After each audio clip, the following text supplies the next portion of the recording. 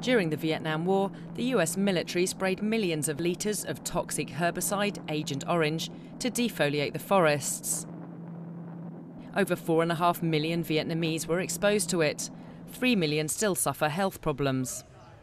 But 50 years on, the US government refuses to accept responsibility for the harm caused. At the International Conference for Victims of Agent Orange in Hanoi, campaigners and victims from 18 countries signed an appeal to the international community, demanding the US government acknowledge the toxic chemicals' effects. Thời gian chờ đợi 50 năm là quá lâu dài. The 50 years waiting period is too long.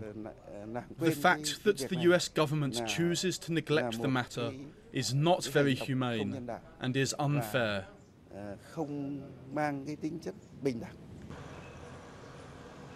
Thousands of Agent Orange victims, especially children with congenital malformations, seek medical treatment in special centres like this one, known as Friendship Villages